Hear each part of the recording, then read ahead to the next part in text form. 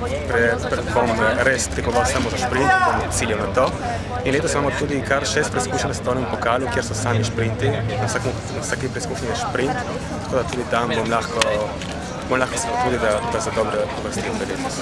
In kam ciljaš, recimo uvrstitve, ki si obetaš ali nadejaš? Letos na sprintih eh, bi hotel na svetovnem pokalu in prvenstvu, predvsem na prvenstvu, nočem reči, da bi zmagal, ker to morda prinese nesrečo, ampak doseči moj najboljši rezultat na svetovnem prvenstvu.